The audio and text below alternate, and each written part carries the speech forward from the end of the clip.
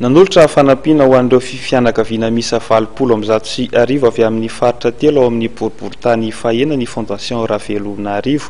Omaly alahady no nanolorana izany tetsy Ankazomanga.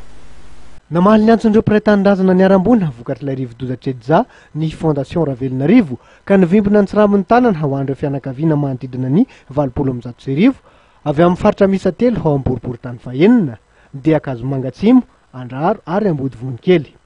Nahitana vary valo amby ambin'ny folo amby zato gony, siramamy fito amby efapolo gony, savony dimy amby telopolo amby zato baoritra ary tavoahangina menaka miisa roanjato sy arivo. Izany fanomezana izany. Tetsy amin'ny tany malalaka etsy Ankazomanga no notanterahana ny fanolorana omaly. Voalohany aloha dia ny fangatahana izay tena ilaina ny fondation.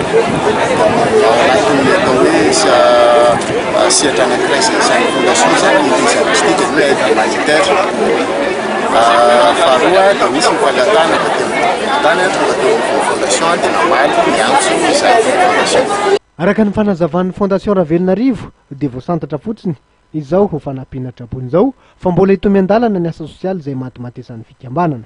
Efa tamin'ny taona efatra ambin'ny folo sy roa arivo no niforona ny fondation Ravelonarivo izay ivondronan'ireo malala-tanana maro. Tafiditra ao anaty sehatrasa any ihany koa ny fanabeazana fahasalamana, ny tontolo iainana, ny fanatanjahantena, ny kolontsaina ary ny fampandrosoana ara-toekarena sy sosialy.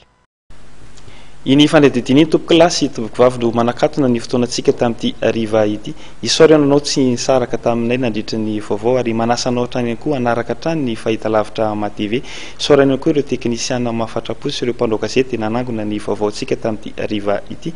Ny tena kosa dia mamehy fotoana anao amin'ny rahampitso ndraiky. Mametraka ny veloma mandra-pitavy ary tompoko lahy sy tompoko vavy.